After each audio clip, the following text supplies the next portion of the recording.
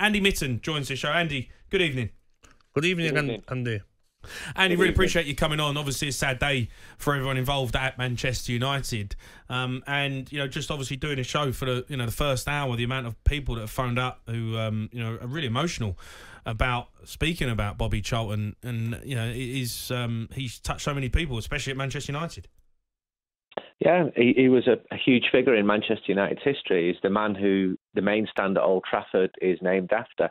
His statue is on the forecourt alongside um, Denis Law and George Best. I mean, to think three European Players of the Year in the same team at the same time, how do you get in that side? So I, I spoke to Brian Kidd earlier on, and he said I had to try and get in that team as a forward, and he was younger than them all. and he said I'd look at um, Bobby every day, and he, he wasn't a man of many words, but you just follow his actions, and you knew you couldn't emulate him because you could never get to that level. But if you could get onto the pitch and follow his professionalism, he said he's very demanding of the younger players as well. And often it was just a, hey, come on. And that was enough. And then they just tried to copy him and do what what he did. And he was one of the best players in the world with the statistics and the medals to to show for it. It mm. is appearance record for Manchester United. I never thought that would be broken. Those seven, five, eight games when I was growing up, and, and Ryan Giggs did break it. Yeah. His goal scoring record at Manchester United. I never thought that would be broken, and Wayne Rooney broke it. Forty years later, he held the records for for England. For, for appearances, for, for goals. But it wasn't just that. He saw some of his closest friends die in the Munich air disaster. He was seriously injured himself in 1958 now imagine that. You come through at a football club, you're a young lad, mm-hmm. you're an apprentice. In an incredibly gifted generation of players, they become known as the Busby Babes. And then you see several of them die as a, making a charge to become mm. the first English team to win the European Cup. And to come back from that, and I recommend his two autobiographies because they're stunning books to help lead Manchester United, first of all, into recovery and then to rise to become FA Cup winners in 63, league champions 65, 67, and the first English team to win the European Cup in 1968 was phenomenal. Mm. And he was there all along. He carried on playing until 1973. He was known around the world long before uh, the Premier League became this this this global brand. You, know, you genuinely would meet waiters in Spain who couldn't speak any English but could say Bobby Charlton.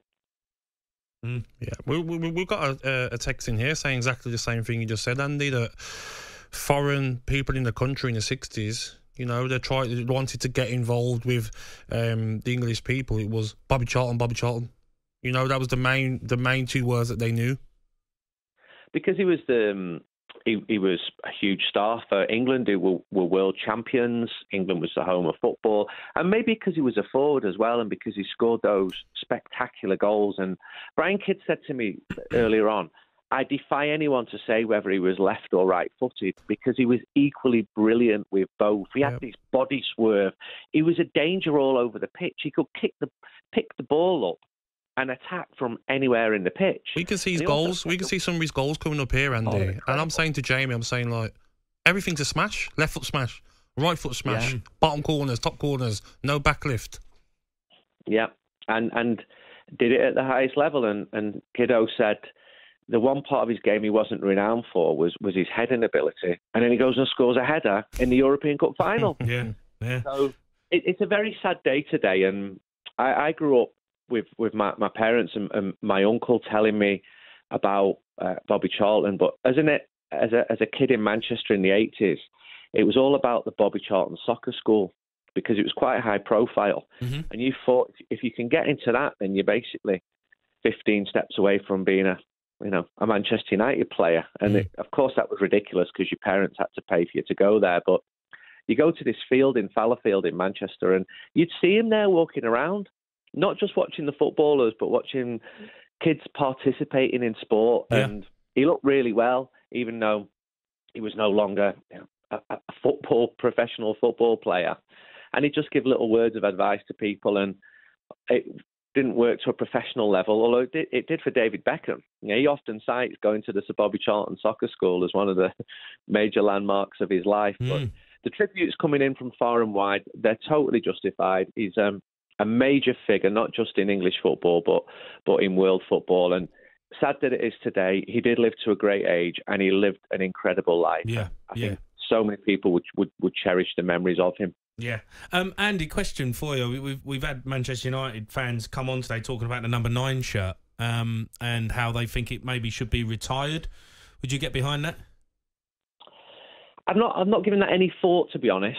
Um, I think the fact that the main stand is named after him is hugely significant, and I know that meant a lot to him, mm-hmm. and I know that when that happened, you know, his health has not been the best in recent years, and we saw an incredibly emotional man when he saw his name on top of the main stand at Old Trafford. That main stand should be improved. It should be expanded, and it should keep the name of, of Sir Bobby Charlton yeah. because, as we've said, he was so significant. And Matt Busby's manager gave a lovely quote about about Sir Bobby. He said, The greatest thing for a manager is to trust the talent. Bobby Charlton never betrayed that trust. It was a privilege to have him play for you. And how many players can a manager say that about him? He's clearly top world class player. And mm. England fans loved him as well, 66, 1970. Um, even got a line in the New Order song, didn't he, in the 1990 World Cup? So he spanned the different generations. Mm, yeah, absolutely.